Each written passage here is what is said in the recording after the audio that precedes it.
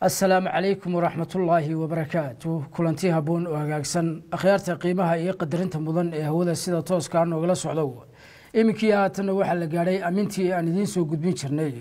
War wixii dal iyo dibadba naga soo gaadhay xilli tabinteennan wareedna waxaa u diyaara anigoo ah maxamuud salebaan idle qodobada aad ku daawan doontaa warkeennana waxaa ka mid a. Dowladda soomaaliya ayaa si adag uga hadashay go'aanka maxkamadda dembiyada caalamiga ah ee loo soo gaabiyey i c j ee ahaa dib u dhigista.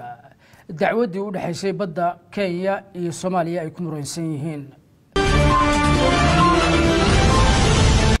Dowladda soomaaliya ayaa ka warbixisay xaaladihii ugu dambeeyey ee caabuqa faafa ee loo yaqaano covid nneteen ee guud ahaanba deegaanada soomaaliya. Wasaaradda caafimaadka ee somalilan ayaa warbixinteedii maalinlaha ahayd ee covid nneteen waxa ay ku shaacisay kiisas cusub oo hor leh.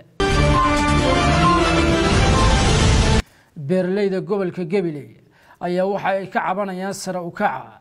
Suuq la'aanta saraca ay soo saaraan iyadoo xukuumadda uu garwadeenka ka yahay madaxweyne muuse biixina ku eedeeyey inay kaga baxeen ballanqaad kol hore ahaa oo ahaa in ay ka iibsan doonaan saraca ay soo saaraan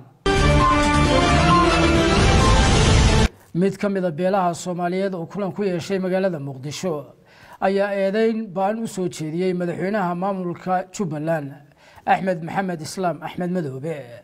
Daawadayaal qodobada aan idinka hayno wararka caalamkana waxaa ka mid a mudaharaado rabshada wata oo gelgelay maraykanka kuwaasi oo ay sababtay dilka nin madow ah oo lagu dilay gobolka minneabolis intaasi daawadayaal waa qaar ka mid a qodobada aad ku daawan doontaan warkeenna iminkii haatana waxaad u diyaargarowdaan warkaasi iyo warar kale oo xiise leh oo faahfaahsan.